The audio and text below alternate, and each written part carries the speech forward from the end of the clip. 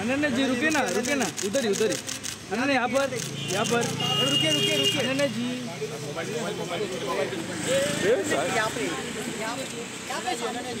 Ma'am ये ये ये।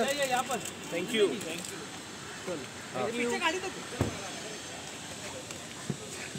एंजॉय